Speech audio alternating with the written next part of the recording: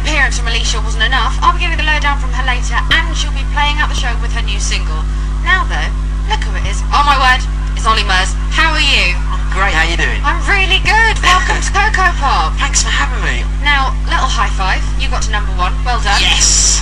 What did you do to celebrate? Do you know what? Sadly, I didn't do anything exciting. Well, nothing. Well, I kind of did, but the first night when I got told I was number one, I went home and my mum did this really bad firework display. It was horrendous.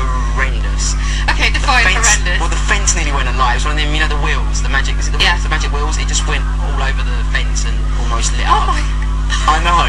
And then and then after a day or two of sort of reflecting and getting back to work. Yeah.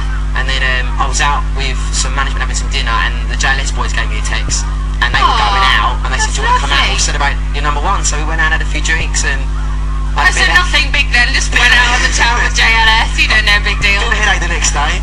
Now, Olly, I'll level with you. Okay. You've got a lovely face. What's going on in the relationship situation? Are you single? Are you attached? Of course, fun. I'm enjoying myself being single and, and 26. I'm having fun, but I really want to find Mrs. Right if I can. So Well, there are thousands of uh, lovely ladies here who've been screaming your name all day, so I'm pretty sure I can sort something out. For now, though, thank you so much and good luck, and No. uh, have fun on stage. Thank you very Shall much. we do a bit of that?